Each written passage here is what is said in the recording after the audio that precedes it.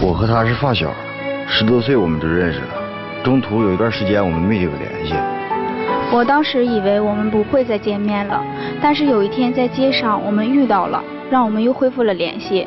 从那时候到现在，我们交往了四年。这四年我们每天都吵吵，还闹分手，但是每次说要分开的时候还舍不得。我总是跟他说提分手伤感情，我们后来虽然也没再提过分手，但是每天都争吵不断。可能是因为我们都太年轻。太固执，太自私吧。前一段时间看新闻，看到很多两个人都是发小，最后都步入了婚姻殿堂，我真的很羡慕。掌声有请这一对，掌声有请。男嘉宾小丁，二十三岁，来自哈尔滨，公司职员，有请小丁。女嘉宾小陈，二十三岁，同样来自哈尔滨，也是一名公司职员。来，有请，有请。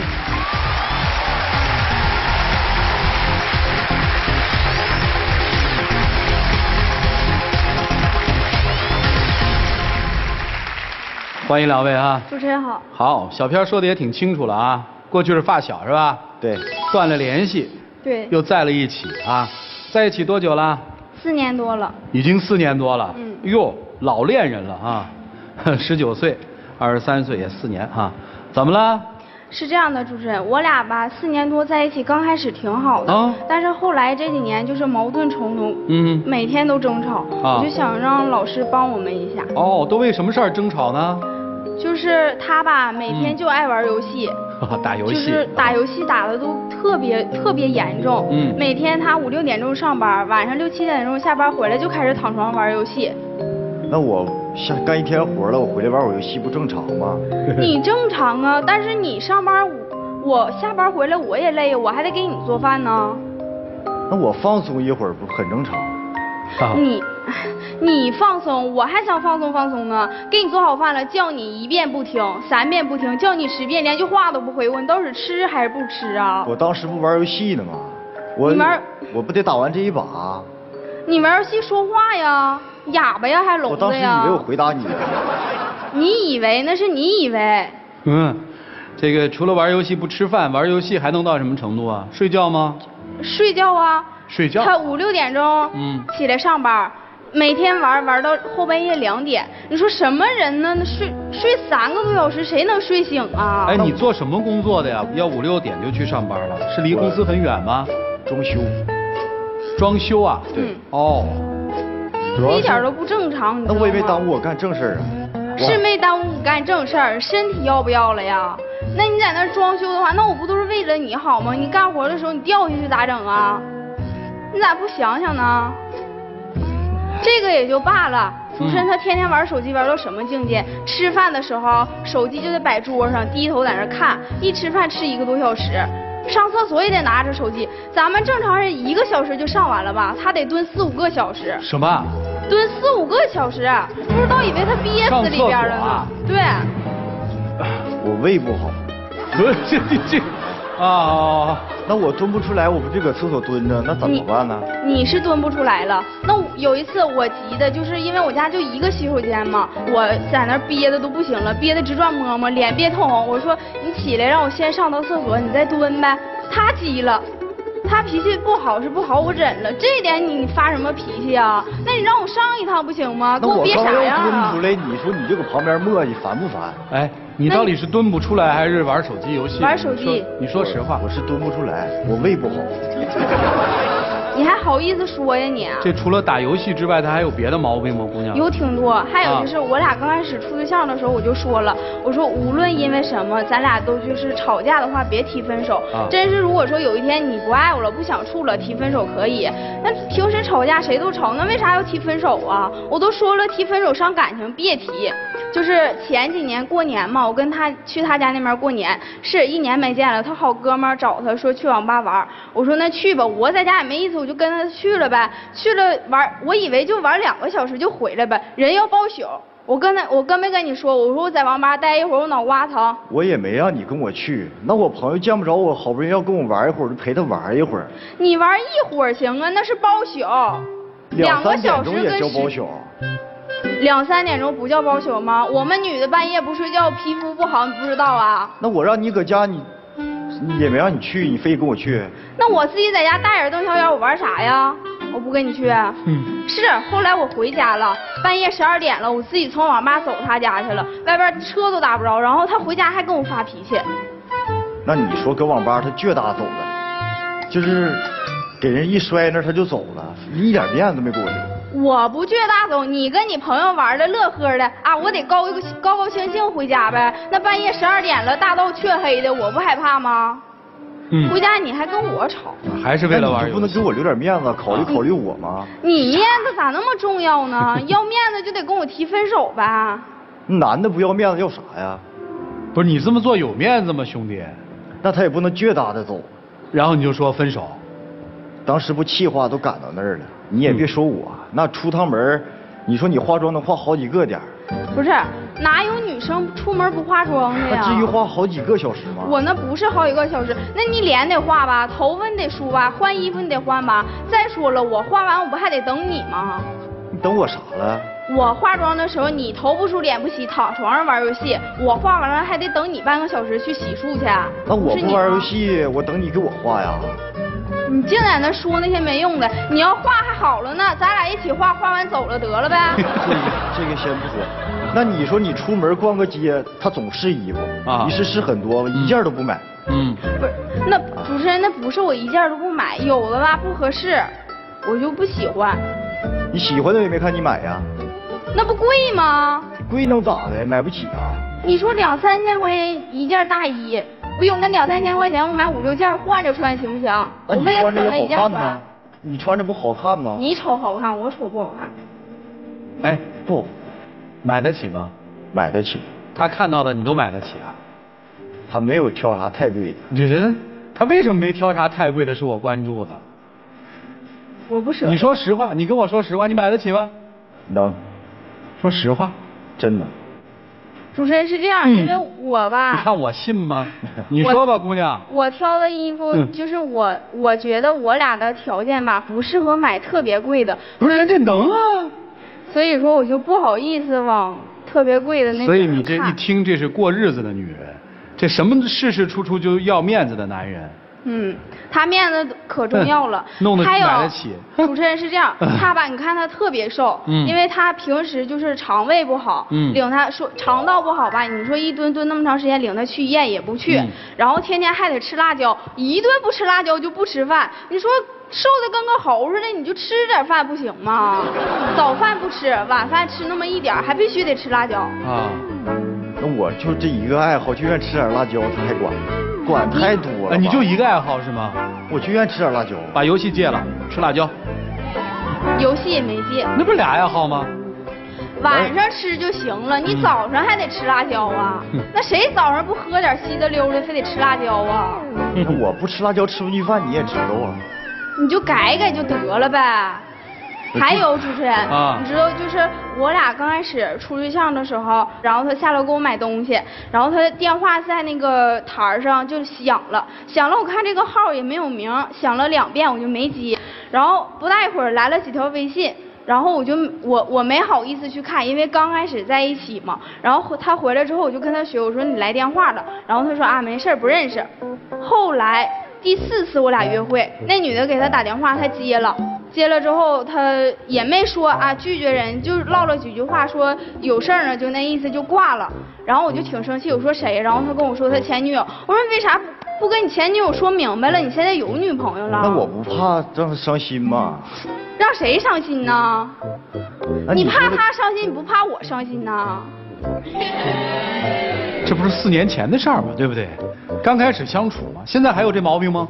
有啊，一四年我发现了，一四年我发现了，后那时候我跟他吵了，就那天我跟他吵了第四次约会，吵完之后他给那女的打电话说以后别联系我有我有女朋友了，然后这就拉黑了，都拉黑了，因为他每年都得去外地干一个月活，然后那年去外地他到那之后一四年发生的事儿，我一六年才发现他跟那女的 QQ 联系了，啊，他当时有两个号。他大号我给他删了，小号我也不能瞎删呢，我也不知道是谁。完了，他我去外地的时候，他可能是知道看我发朋友圈了，完了就跟我说句话，我给他删了，我都没好意告。啊。你当时不告诉我，后来咱俩吵的不比当时。咱俩吵架吗？你再去外地找我，再打一仗。当时怕吵架，一六年我发现咱俩不吵得更严重吗？你也别说我。我咋的了？你前男友还给你打电话呢。不是，那事儿我不跟你解释明白了吗？你怎么还？你解释明白，我心里也有这坎儿啊。啥坎儿？啊，过不去。你就不应该有这个坎儿。那时候是这样，就是那时候我俩，我跟我前男友在一起呢，然后我女朋友就是通过我跟他借的钱，倒没有多少钱，然后后来他还了一半，都一年多了，我俩那时候都分是，那跟你有什么关系吧？我不是中间人吗？他不得找我，他找谁呀？你中间人，你电话都换了，怎么能有你电话号呢？我哪知道他在谁那要的我电话号啊？因为这事儿你纠结啥呀？那我能不纠结吗？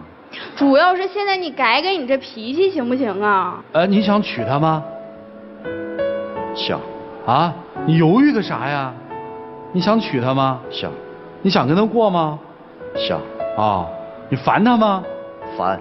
你老烦了吧？非常烦。找了个小妈管你是吧？嗯。啊。嗯。不找小妈就没人管你了呗。你烦他吗？有时候烦，有时候烦，他发脾气我烦。你们这才四年，他就天天玩游戏不搭理你了。嗯，因为两个人在一起，你说一天上班的时间不在一起，我早上醒了，他人都走了，下班回来了，那两个人互相不得亲密亲密吗？他可倒好，就跟游戏把着手机把着游戏，我说你跟游戏过去得了。对啊，那你干嘛老跟游戏不搭理他呢？我也好奇。我感觉时间长了没必要天天腻。你们不是才四年吗？也不短了。那以后还，那就是不想结婚了呗？想。那结啥婚呢？那这这四年就不短了。你咋想的呀？就是他吧，总磨叽。嗯。太磨叽。没咋磨叽啊。没咋磨叽啊。他这是现在不怎么磨叽，你没看回家呢。跟唐僧似的。不是，那你不玩游戏，他不就不唐僧了吗？我追剧这个追完了，中间不没有追的了吗？那你就不能陪陪我呀？明白了，你没有追的，还 我还得转来陪你啊！明白了，你们俩就是基本上回家各玩各的，是吧？对。手机是你们的伴侣，是吧？对。现在基本就这样了，有手机就行了，是吧？他是这么想的，你觉得呢？我就觉得天天那么上那么长时间班，回来两个人唠唠嗑，连说话都不说。没有话题了，你说刚四年呢，那以后十年呢？是挺可怕的啊！才二十三岁，刚刚四年，两个人回家就各自拿着手机玩了，男生就嫌女生烦，女生也不知道跟他说什么，是吧？嗯。我每天干一天活都挺累的，我寻思回去玩会儿游戏放松一下。你跟他聊天不放松吗？不放松啊，我感觉跟他聊天很累啊。这可麻烦了，你们看怎么办吧？我们一起进入丘比特问卷。来，白老师。两位是发小是吧？对。对，发小呢就是儿时的小伙伴嗯。能够跟自己玩的特别开心。然后我们其实对于儿童的行为观察上来去看到的一个东西，就是在儿童时期，我们愿意选择一起去玩耍的小伙伴，其实是自己内心当中另外一个自己。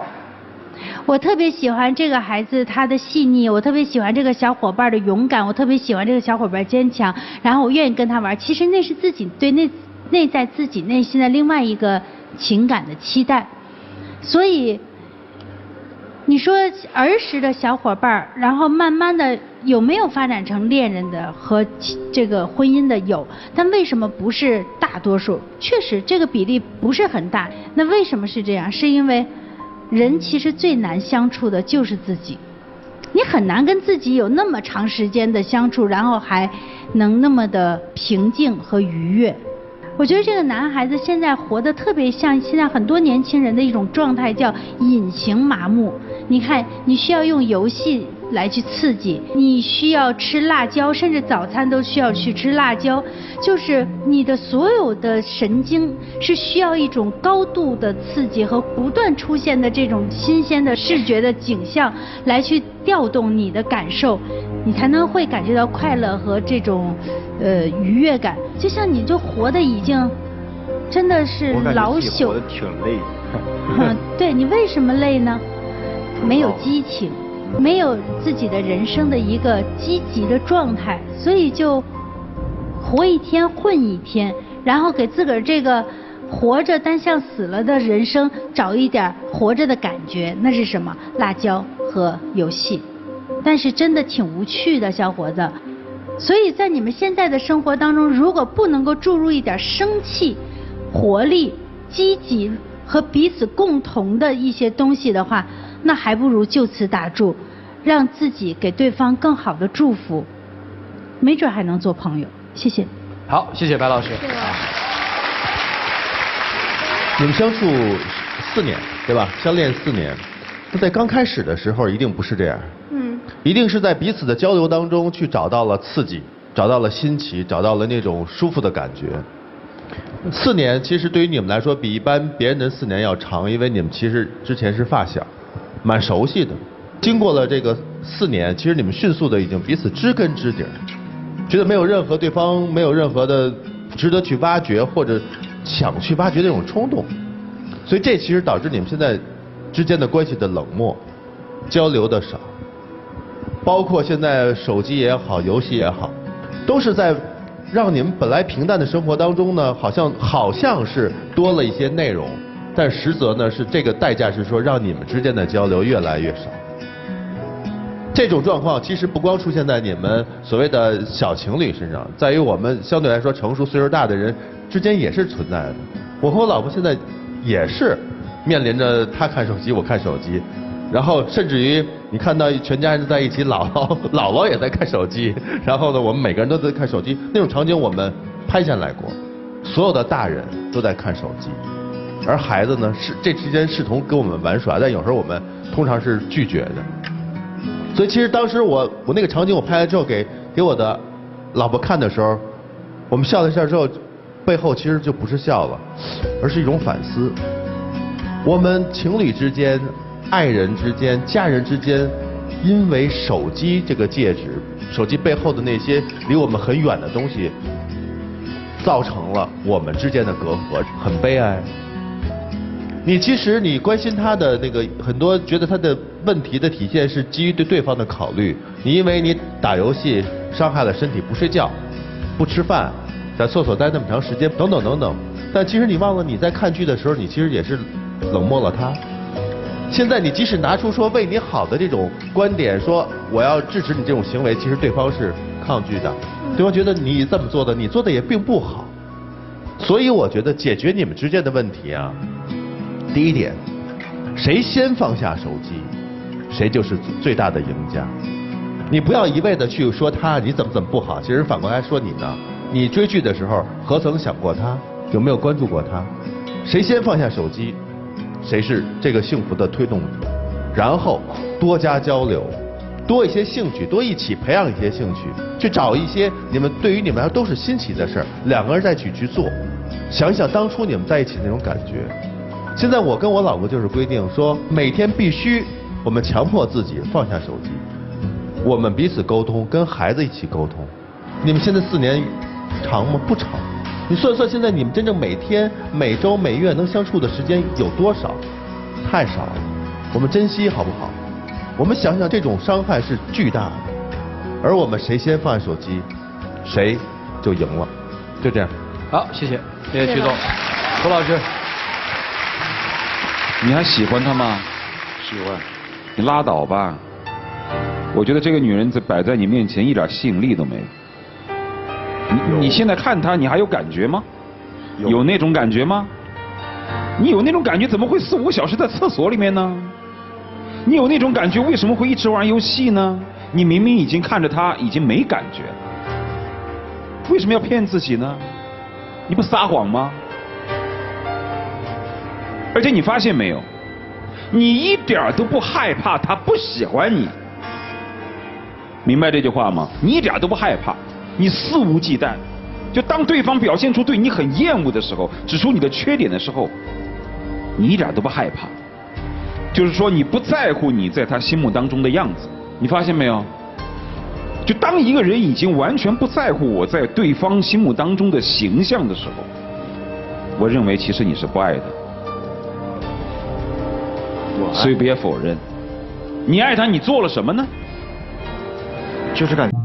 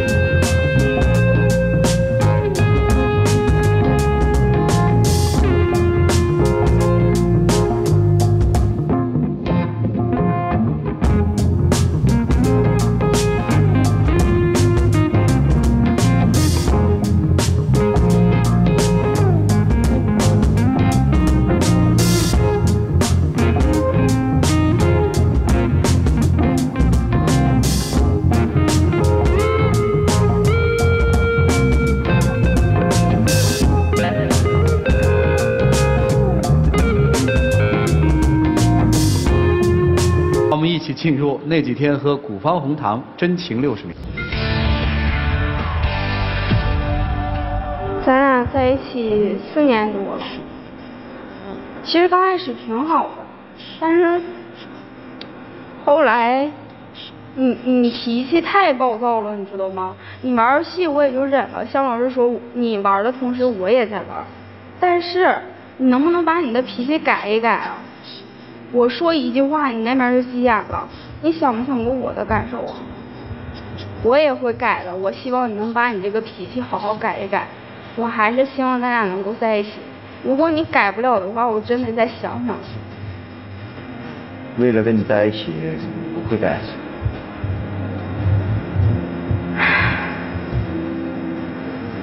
一会儿，你能不能带着转回来？你再说一遍。你会不会转回来？我会的。我再想想。说有啥用啊？哎，分开一段试试，其实挺好。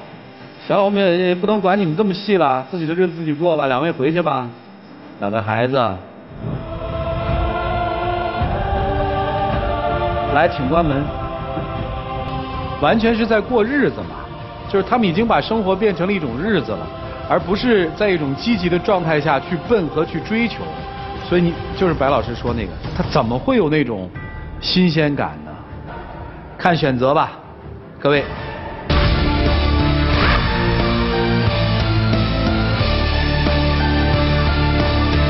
小话筒有请。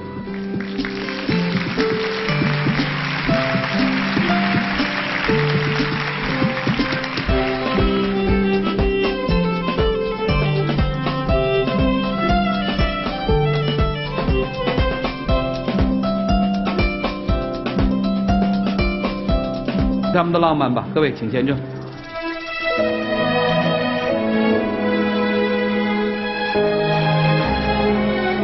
如果你要是不转过来，我会追追你到很远的地方，直到你再次回到我身边。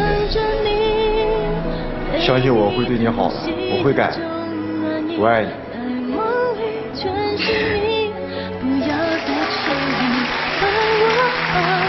多抱一会儿啊！